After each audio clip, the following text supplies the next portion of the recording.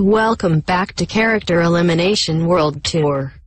Last time, Steven loses. Let's go to the prize hander room. Hi, I'm Puppycorn, and I will be the fourth hander.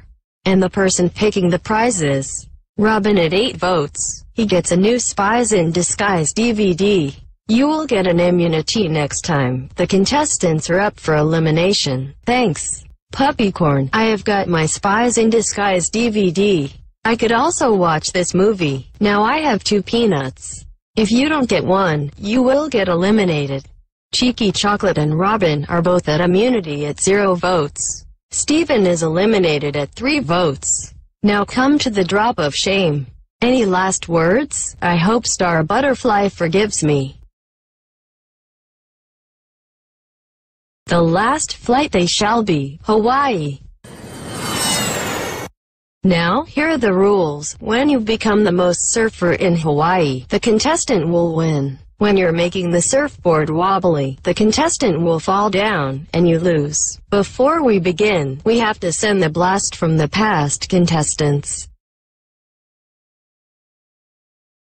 Now, surf number one, go. Hey chocolate girl, guess what? I'm gonna win. Not today or not. Oh boy. This is the most popular surf fight we've ever saw. Get off. Well, this is where the surfers going wild. Alright.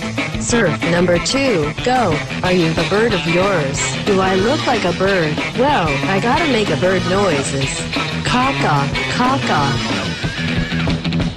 Oh no. Looks like the chocolate bar is in trouble. Whoa.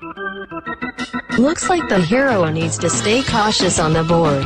Now, surf number three, go. Give up, chocolate girl. Never. You are supposed to be finished. Is that so? Yes. Robin is the winner of Character Elimination World Tour. Here's your million dollars. Thanks a lot, Benny. See you next season one guess. But we got a new cast. And our new host and new prize handers. Until next time, I'm Benny, and this has been Character Elimination World Tour. See ya.